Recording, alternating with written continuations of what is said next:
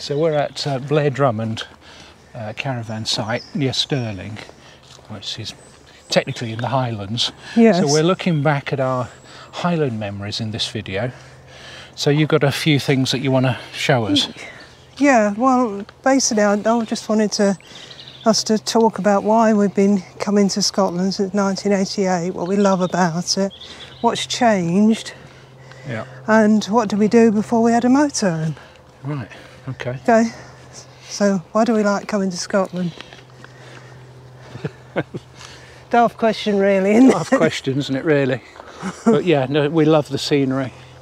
It's it's also it's it's pretty varied, isn't it? Yes, It's not just the highlands and the mountains. no, There's forest. There's places to visit. There's castles to see. Things to do. Planes to Plays watch. to hear. enjoyed about coming to Scotland is the journey. I mean, uh, it, it just gets better and better as you go further north with the mountains. Um, I remember the first time we came, the A74 wasn't a motorway, it was just a single carriageway and it went through uh, places like Johnstonebridge. yeah. The only part that was motorway was near Glasgow. And what we used to find was further north we went, we went from a single carriageway down to single track roads, didn't we? Yeah. Yeah, so it started off from on the M6, then a single track, single carriageway road, Yeah. and then single tracks. So it's always been an exciting journey bit like this one. a bit like this one down here. Yeah, so just thinking about what we used to do before we had the motorhome, um, we came up first of all to Inverness area, didn't we? Yeah. So we went up the A9. Yeah. And- Brahan That's right. yeah, And, uh, and Dingwall. Yeah, and Dingwall. Came back there a couple of years, didn't we? Yeah. And one day while we were there, we went out in the car and we ended up on the A832 up past Garve. Yeah. We thought, oh, this is just a single carriageway road here. Mhm. I said to you, what do all these dashes mean on the road? As we turned the corner, then we discovered what it meant was that it was a single track road. Yeah. Now that time they were doing part of it up, weren't they? So um, we ended up sort of going round a church and all this sort of thing. Yeah. And we said, oh, we'll go down to Loch Maree. We'd heard that was nice. Came across that road that we were on recently. That the road just went round the side of the mountain. It was single track. Yeah. A great big lorry was coming the other way, wasn't it? It was Yeah. really exciting. So we said to ourselves, right, this looks like an area to really explore, but we it'd be easier if we were in the area.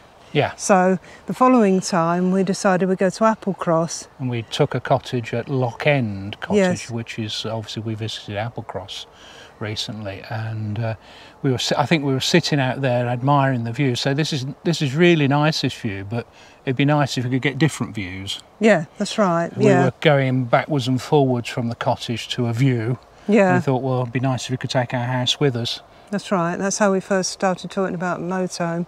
Came back twice again, didn't we? Went to Fearnbeg and Yeah. Fearnmore Moor. because we like that peninsula, but.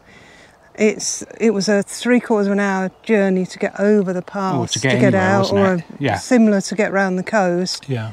We thought, well, you know, we'd like to do a tour where we can move on and see a bit more. So yeah. Yeah. That's how we started thinking about a motorhome. Yeah. And we we hired one in 1996. '96. Yeah, Yeah. Yeah. took your mum. Uh, And that, that's how we sort of got into motorhome, and we took my mum with us. yeah. I don't know what she thought of it. No, we went to Grand Grantown on Spey, yeah, didn't we? Then we went up to Kinlochewe was the furthest we went, Yeah. back to Edinburgh, yeah, and just thought, well, we like this, but we couldn't do any more then. No. We didn't have the finances.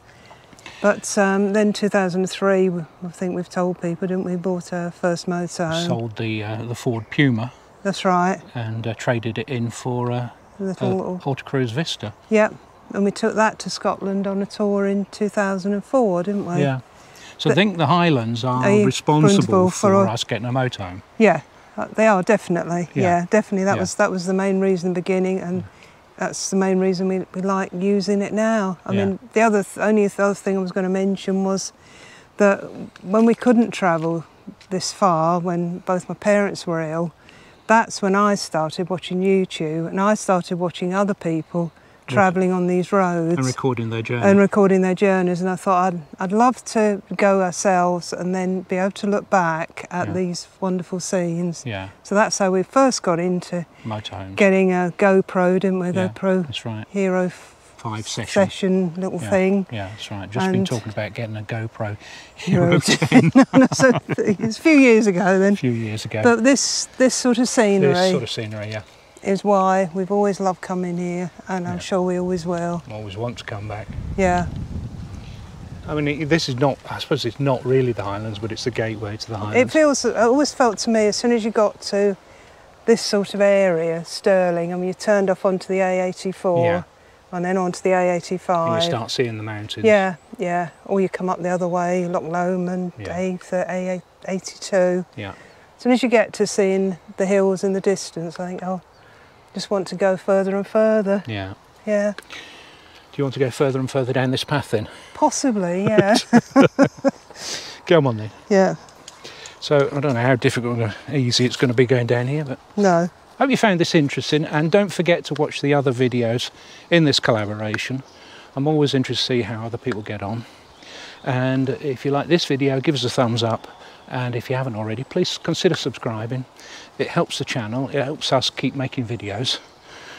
And if you want to see m- more of us struggling down a slightly slopy path, please do that. We'll see you soon. Bye.